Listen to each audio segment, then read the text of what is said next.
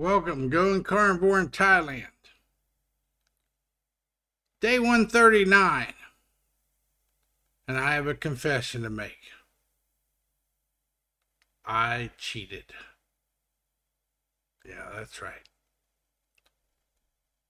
Me and Noi were looking at a YouTube video from a guy named Lucas who has a channel called Riding for Kicks.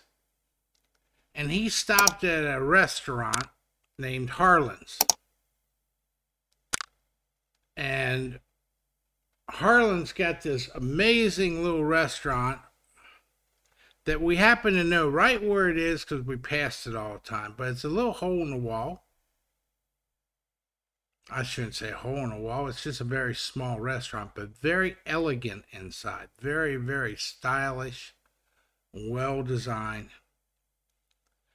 So we were passing by and decided we'll stop in. And we had a amazing shrimp with teriyota sausage, terracella sausage, something like that. A grilled sauteed shrimp with Terra Rosa sausage or something. And that's a dish that Noi had seen and she really liked. And they also brought her out a couple little pieces of bread. I never touched the bread. But then they looked at me and they said, What do you want? And I had also watched that video and I said, Bring me out your best dessert. That's all I want. So me and Noi shared the one order of shrimp and sausage and shared the dessert, which was this ice cream in the center over top of fresh fruits and had these three little crusty balls like of I don't know, this the, the thinnest of crust over top of melted chocolate sauce inside these balls. And I am confessing that it was absolutely delicious. And it was sugars. It had sugar in it. And it tasted great.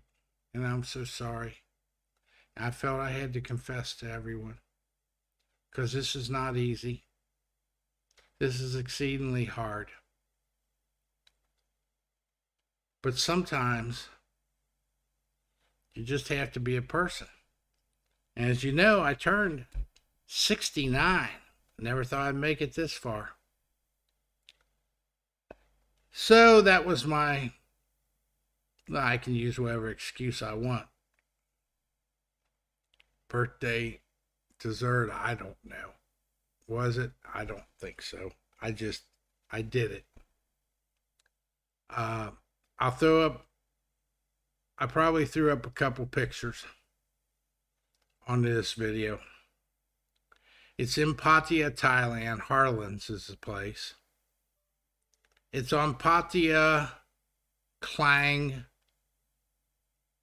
Road. You take this little place off to the side right before you get to Foodland called Welcome Town.